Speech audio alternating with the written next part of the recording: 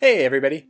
In this video, I'll show you how to install Android Things onto our assembled MakerKit hardware.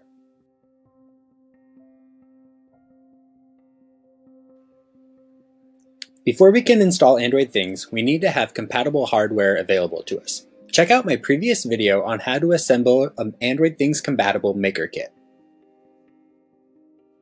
To install Android Things on our board, we'll use the Android Things Setup utility. The setup utility greatly simplifies the setup process. The setup utility can be downloaded from the Android Things Developer Console. You'll need to sign in and accept the license agreement first. Once the utility is downloaded, unzip it to your working directory. We'll be using it shortly. Next, we need to connect our board to our computer so we can flash Android Things to the device. Now it's time to run the setup utility. We'll choose Install Android Things and optionally set up Wi-Fi.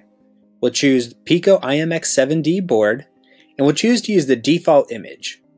And then we'll wait. Once the Android Things image is downloaded, we'll start flashing it to our device. Now this will take several minutes, so just be patient.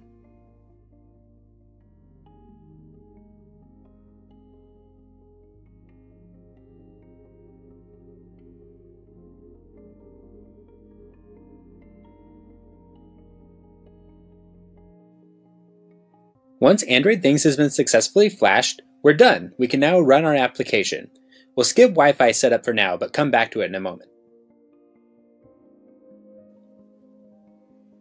The setup utility can also be used to set up the Wi-Fi.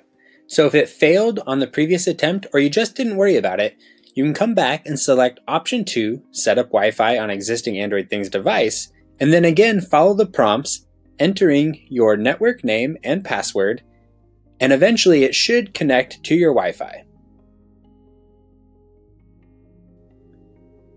Once you've entered your Wi-Fi info and it's found the device, you should be successfully connected to the internet. Congrats!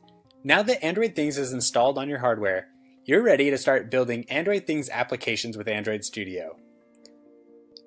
For more on Android Things, check out these additional resources.